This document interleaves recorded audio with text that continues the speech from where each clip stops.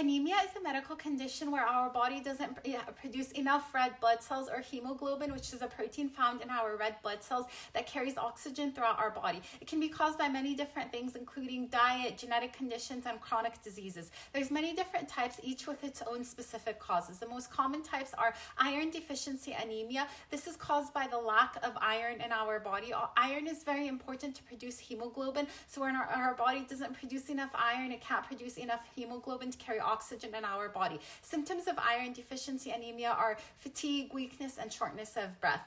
Next, vitamin deficiency anemia. Certain vitamins like B12 and folate are very important for our body to produce red blood cells. When our body doesn't have enough, it can't it can result in a type of anemia known as vitamin deficiency anemia. Symptoms of this are also fatigue, weakness, and sometimes people have numbness or tingling in their hands. Hemolytic anemia is a type of anemia that happens when our body destroys red blood cells faster than it produces them and can be caused by many different